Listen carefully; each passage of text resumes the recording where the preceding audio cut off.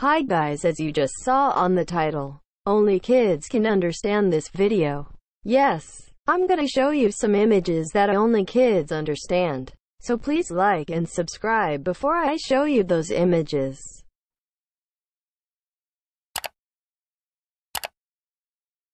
Perfect. Starting in 3, 2, 1.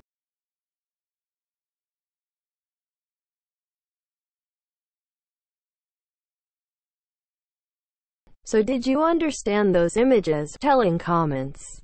Bye!